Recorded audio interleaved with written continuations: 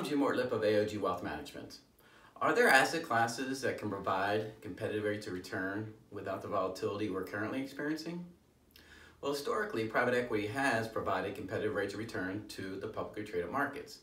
And in fact, over the last 20 years, through the end of the third quarter of 2019, as measured by Cambridge and Associates, private equity has had an annualized return of 11.7% compared to 6.3% for the S&P 500. Unfortunately, historically, private equity has been the playground of the ultra high net worth individuals and institutions such as pensions and endowment funds. However, with ever increasing technology, ever increasing transparency, and the ability to evaluate private equity funds, Main Street investors are now able to participate in private equity without large commitments of funds or time. So do yourself a favor, and when you have a chance, take a look at the article and learn more about these recent developments. Again, I'm Jim Ortlip of AOG Wealth Management.